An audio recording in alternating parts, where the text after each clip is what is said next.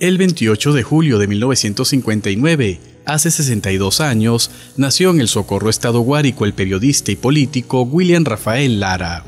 Desde muy joven se dedicó al trabajo y a los estudios. Contrajo nupcias con la docente Gisela Toro, con quien consolidó un hogar con dos hijos.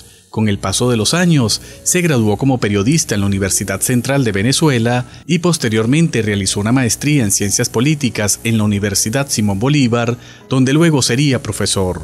William Lara militó en el Partido Comunista de Venezuela, fue miembro fundador del Partido Quinta República y del Partido Socialista Unido de Venezuela. Luego desempeñó cargos como diputado al Congreso y en el año 2000 fue presidente de la Asamblea Nacional.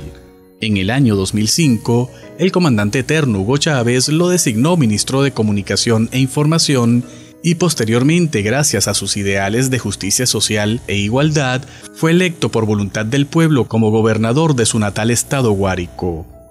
William Lara fue un verdadero luchador social. Su ética marcó un precedente en el corazón del pueblo venezolano y especialmente en el de los guariqueños.